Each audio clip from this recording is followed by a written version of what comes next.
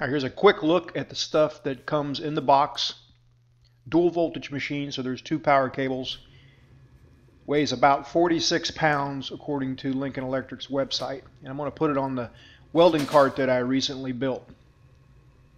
First up, 30 thousandths thick 6061 aluminum. That's about 0.8 millimeters thick. I'm going to be using a really sharp electrode for this thin stuff in a number 6 stubby gas lens setup see at really low amperage, you, you, can, you can get some arc wandering even with a sharp electrode. But when I sharpen it a little bit more and then reduce the AC balance from 70 to 67, I got a really stable arc that lit up really nicely on the edges at low amperage. Now I don't weld all aluminum with this sharp of an electrode. We'll, we'll show a little bit of that later in this video. I'm only running about 12 or 13 CFH. And so let's run down the machine settings. AC TIG, and it's 30 thousandths thick. That's 0.8 millimeters thick, so I'm going to set it at 45 amps. 67 on the AC balance, and AC frequency I'm going to crank all the way up to 150 hertz. That's the max this machine goes to. See that lighting up on the edge there? I've got this magnified so it looks thicker, but that's a 1 16th uh, filler wire. So you can kind of, in reference to that, you can see that the metal is a great deal thinner than the filler wire. It's 30 thousandths thick, didn't have any trouble lighting up on the corner. Even though this machine is rated at a 25 amp start, it's only for just a few milliseconds, so you are able to light up on, on the edge of some fairly thin aluminum. Now you see me using a Pyrex cup here, and you're going to see different cups in this video.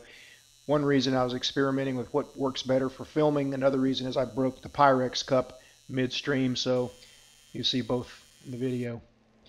That one's done. That's, again, 30 thousandths thick.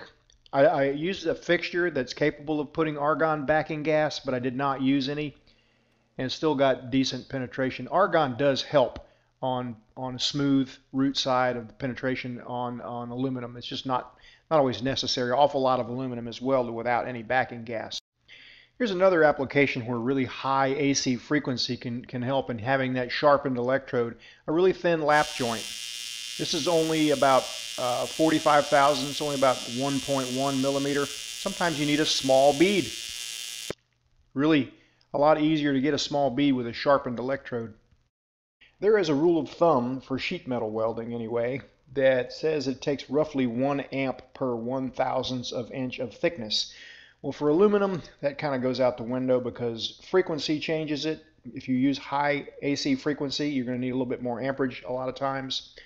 And also when you have chill factors, like, like this is in a fixture, even though it's only a, a carbon steel fixture and it's not pulling a tremendous amount of heat out, it still is pulling heat out and requires more amperage. This is, a, this is an example. 45 amps on 45 thousandths thick metal, and you can see it's very cold it's just laying on top. Had to increase it to 65 and actually peaked out around 63 using a foot pedal. That was about right. So if you have chill blocks or anything like that, and, and, I actually needed a little bit of chill, small pieces of aluminum like this get saturated with heat really quickly. All right, there's the cold part. You can see it mic'd out at 46 thousandths. No penetration there or very little, only when I got started. And then when I increase the amperage, much better. All right, I'm going to weld something a little thicker now. So I'm going to increase the amperage to 120, leave the AC balance 67. And instead of 150 hertz on the AC frequency, I'm going all the way down to 60, bottom of the range. Instead of using a real sharp electrode like this, I'm going to taper it more bluntly like this. That way I still get a nice pop off the tip of the electrode tack welding on ends where the arc doesn't wander. But nice stable arc, no wandering around even when I taper off, you might get with a ball. And it changes very little. Doesn't ball up or change shape a whole lot. That was 78 thousandths, almost 80 thousandths thick. And again, no argon on the backside. All right, we'll go, go to steel now. I'm going to weld some of these box cutter blades. These mic out at 023, so just a little bit more than half a millimeter.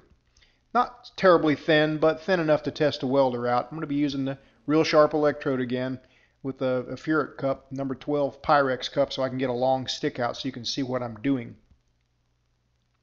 I don't put a flat tip on my electrodes for thin stuff like that. I just sharpen them and leave them sharp.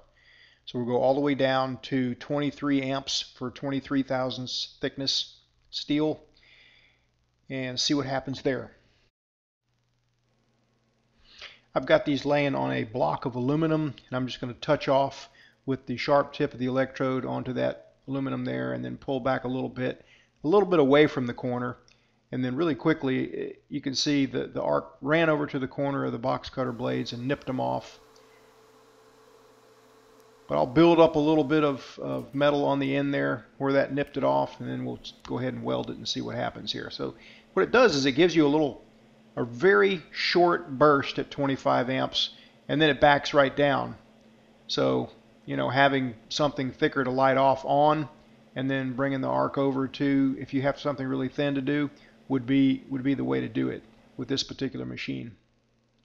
There are machines that light off at 1 amp. Uh, 5 amps is pretty common. This is just a little hotter than that. The machine also has pulse capability. We'll get into that in another video. For right now, I'm going to crank up the amperage to 200 amps DCEN for steel and only welded a short run there because this is a 150 amp 17 style torch so it's going to heat up if I weld very long at 200 amps. I did crank it back to 170 amps and weld for, for a good a good bit longer and you know most steel no matter how thick it is you can weld it at about 170 amps just use multiple passes if you need more weld size on it.